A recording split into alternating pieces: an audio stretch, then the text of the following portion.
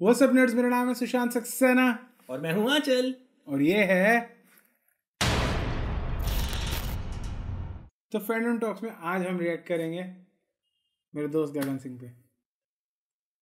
Just kidding ये गगन सिंह है toll free wander आप आप में से कई सारे लोग जानते होंगे इसे ऑलरेडी अभी बहुत ही कूल इसने वीलॉग्स बनाए हैं कुछ हिमाचल के ऊपर। सो ऑल्सो ये विश करने भी है।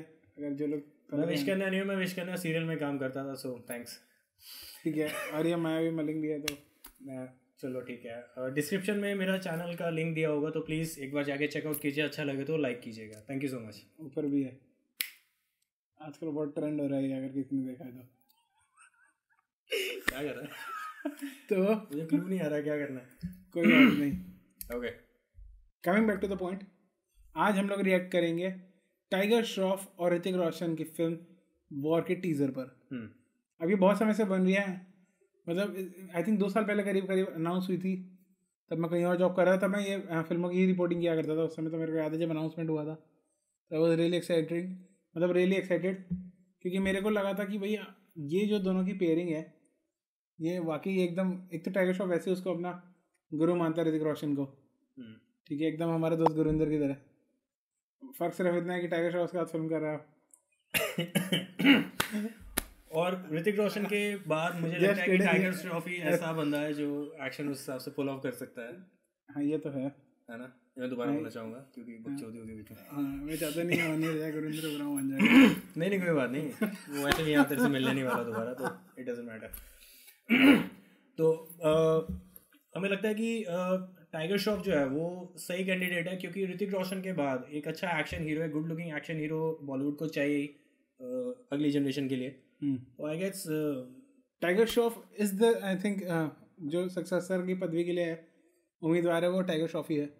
और इस फ़िल्म में कैसा उनका रहने वाला है वो तो मैं देखने के लिए एक्साइटेड हूँ ही हूँ बट साथ ही साथ एक चीज़ और है बीच में कंट्रोवर्सी चल रही थी मैंने पढ़ा था कि ऋतिक रोशन दिशा बाटनी को बुला रहा था डेट पर ऐसा ऐसा टाइगर श्रॉफ नाराज़ हो गया था। ऑल दो आई थिंक वो सिर्फ़ फ़िल्म की कंट्रोवर्सी के लिए होगा फ़िल्म की को कंट्रोवर्सी के लिए होगा वरना और- वैसे भी आजकल न्यूज़ आ रही है इस वीडियो के रिकॉर्डिंग के टाइम पे कि दिशा पाटनी ने शायद ये लोग मूव ऑन हो चुके हैं कुछ। पता नहीं मेरे को वो तो अभी ये लोग कपल है नहीं वैसे भी तो इट डजेंट मैटर तो खैर तो बहुत सारी चीज़ें हैं इस फ़िल्म के लिए बट मैं देखना चाहता हूँ फ़िल्म कैसी है सबसे पहले। हम्म। और टीजर में क्या दिखाया क्या नहीं उसके बाद हम बाकी सारी बातें करेंगे। या so guys here we go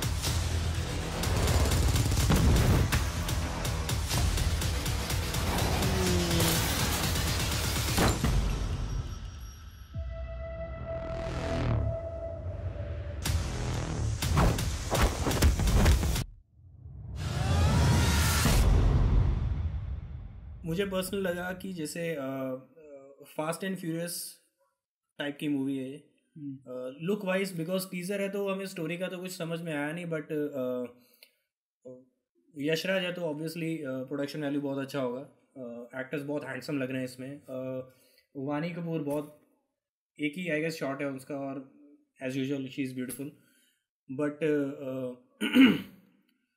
जो कलर ग्रेडिंग भी है वो इंडियन नहीं है। ये मूवी अगर आप किसी नॉन इंडियन को या फॉरेन में दिखाएँगे ये बोल के कि ये हॉलीवुड का कुछ है तो आई गेस वो बिलीवेबल लगता है। है ना? सो so, मेरे हिसाब से आई थिंक अब तक की ये जो बॉलीवुड की बेस्ट फ़िल्म है when it comes to action Yashraj की जो लास्ट प्रोडक्शन थी थग्स ऑफ़ हिंदुस्तान वो बहुत ज़्यादा डिसअपॉइंटिंग रही थी। हम्म। स्टार्टिंग में मेरे को एकदम धूम वाला फील आया। बाइकें भाग रही हैं और वो हम्म। धूम मचा ले। ठीक है और वो अभी तक कहानी तो हमें पता नहीं सिद्धार्थ आनंद ने बैंग बैंग को भी अडेप्ट करा था। हम्म। हालाँकि ओरिजिनल जितनी अच्छी नहीं थी but still fairly good job था वो और मेरे को बैंग बैंग पसंद है। ठीक है मेरे एक और हमारा दोस्त है मक्का उसकी वजह से पाँच बार देखी थी हम लोगों ने थिएटर में। उसी ने टिकट खरीदा था हम लोग पैसे वेस्ट नहीं करते। तो बट अब लुक्स की बात हो ही रही तो I guess Hrithik Roshan as usual बहुत बहुत सही लग रहा है। सॉल्ट एंड पेपर वाला जो उसका लुक आया ना मैच्योर और वो वाला वो बहुत बढ़िया लग रहा है। हालाँकि टाइगर श्रॉफ की जो एंट्री थी ऋतिक की एंट्री बहुत ऐसे वर्दी वाली एंट्री है। टाइगर श्रॉफ की एंट्री मेरे को उतनी अच्छी नहीं लगी जब वो ऐसे वो फांद के आता है। हम्म। क्योंकि वो हर बार फ़िल्म में ऐसा ही कुछ कर रहा होता तो कुछ वहाँ अलग होता तो और अच्छा होता लेकिन सबसे ज़्यादा मेरा फेवरेट मोमेंट वो था जब वो ऐसे बाइक से पकड़ कूदता नहीं ऐसे हाँ, वो स्टोर के अंदर वो एकदम ऐसे वैसा वाला वो फील था। Physics defining moment but on that note physics भी बहुत अच्छा इन लोगों ने। ध्यान में रखिए पूरे फ़िल्म में। आपको एक्शन नकली या फैब्रिकेटेड नहीं लगता है। बिलीवेबल लगता है और ये सबसे अच्छी बात है चाहे वो कारों का ड्रिफ्ट होना हो चाहे बाइकों का चलाना हो। हालाँकि वो बाइक पे क्लोज लाइन कैसे मारी होगी मेरे को पता नहीं। बट जितना भी दिखाया अभी तक बहुत अच्छा एक्शन था और अब तक का मेरे ख्याल से बेस्ट एक्शन हालाँकि मेरे को फ़िल्म देख के ही पता लगेगा क्योंकि मैंने बागी भी इसी उम्मीद में देखी थी फ़र्स्ट और मेरे को बागी का एक्शन बहुत डिसअपॉइंटिंग लगा। तो क्योंकि ट्रेलर में यूजुअली बहुत बे, सारे बेस्ट बेस्ट ऑफ़ बेस्ट ही। दिखाते हैं ट्रेलर में। और वो टोनी जा की फ़िल्म से सारा वो इंस्पायर रहता है वहाँ पे। और टोनी जा उसे टेन एक्स ऑलरेडी अच्छा कर चुका है। हम्म। तुम उसको रेप्लीकेट करने में भी उस लेवल पे नहीं जा पा रहे ऊपर तो कैसे जाओगे? तो वो बहुत डिसअपॉइंटिंग था मेरे लिए। कमिंग बैक टू दिस इसका लुक मेरे को बहुत अच्छा लगा। मेरे को कहानी का थोड़ा सा इंतज़ार रहेगा। आई थिंक uh, मैंने रिलीज़ डेट नहीं देखी है अभी किस दिन रिलीज़ हो रही है। सेकंड ऑफ़ अक्टूबर की है बट एक्शन लवर्स के लिए आई थिंक ये बहुत अच्छा साल होने वाला है क्योंकि अभी साहो आ रही है। साहो का टीजर हम लोगों ने ऑलरेडी देखा है अगर आप लोगों ने नहीं देखा है उसका रिएक्शन तो do check it out link आपको नीचे मिलेगा या फिर ऊपर। और उसी तरह ये दो इस साल इंडिया की बहुत अच्छी फ़िल्म आ रही हैं जो एक्शन के ऊपर बेस्ड है। हम्म। और क्योंकि मेरे को एक्शन बहुत पसंद है तो मैं इस बार एक्साइटेड हूँ। एक्शन फ़िल्में वैसे भी थोड़ी कम हो रही थी रोमांटिक फ़िल्मों के चक्कर में। और लास्ट ईयर जो था वो थोड़ा डिसअपॉइंटिंग रहा। चाहे टू पॉइंट ओ की आप बात करो या फिर थग्स ऑफ़ हिंदुस्तान दोनों ही उतनी अच्छी नहीं रही इन टर्म्स ऑफ़ एक्शन या एग्जीक्यूशन हम्म। तो वहाँ थोड़ा सा फैंस डिसअपॉइंट हुए। ये बहुत अच्छी लग रही है मेरे को। टाइगर वर्सेस ऋतिक ये डायनामिक्स ना ये लोग बहुत लॉन्ग टर्म तक खींच सकते हैं। जैसे हॉब्स एंड शॉ बोल लो या हम्म। फिर Vin Diesel versus Rock original film में वैसा सा सीक्वेंस भी था एक छत के ऊपर चेस करने वाला अगर किसी को जॉन विक फ़र्स्ट याद हो तो उसका हम्म। जो क्लाइमैक्स होता है जब जॉन विक को कैप्चर कर लिया जाता है चेयर पे बाँध दिया जाता है और विलन उसे कन्फ्रंट करता है हम्म। तो इसमें जो क्लाइमैक्स वाला सीन था इस ट्रेलर टीजर में तो वो वैसी वाली वाइब दे रहा था आई गेस या तो वो क्लाइमैक्स ही होगा या फिर क्लाइमैक्स नहीं होगा हम्म। दो हीरो लड़ रहे हैं आपस में लेकिन किसी एक पॉइंट पे वो किसी एक सेंटर टारगेट क्या बोलते हैं जैसे बैटमैन वर्सेस सुपरमैन में था। वो एक मोमेंट पे दोनों हीरोज जब मिल जाता है ना तो शायद वो वाली फाइट वहाँ पे हो सकती है। हम्म। और लुक्स के मामले में तो अच्छा लग ही रहा है। हाँ, ऋतिक अभी भी टाइगर श्रॉफ पे भारी पड़ रहा है ऑफ़ कोर्स यस ये बड़ी औसम बात है। और वानी कपूर का सच मेरे ख्याल से इसके अंदर कुछ खास रोल है नहीं। वो आई कैंडी की तरह ही उसका शो करा ट्रेलर के अंदर से कोई। एक ही एक ही सीन में हाँ। उसका।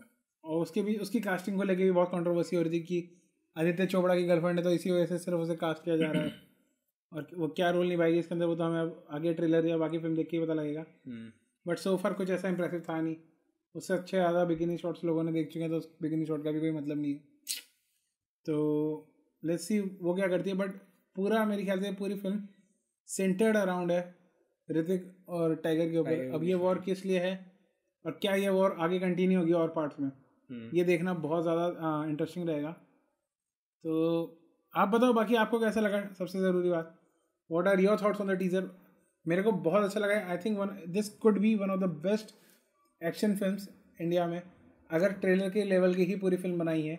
Yeah. क्योंकि अक्सर इंडियंस बहुत डिसअपॉइंट करता है बॉलीवुड कि ट्रेलर बहुत औसम बनाता है बट फ़िल्म में खत्म। फ़िल्म में वही एक्शन अच्छा होता है जो ट्रेलर हाँ, में ट्रेलर में ऐसा लगता है फिल इन द ब्लैंक्स बनाया। हाँ. कि ट्रेलर पहले शूट कर लिया उसके बाद उसको बढ़ गया बीच में कुछ भी बना गया हम्म। तो ऐसा ना हो I hope but this looks promising तो आप बताओ, आपको ये टीजर कैसा लगा? Until then you know what to do subscribe to our channel like us on Facebook followers on Twitter and Instagram इसको भी। और रेगुलर अपडेट्स के लिए घंटा हो जाए। बाय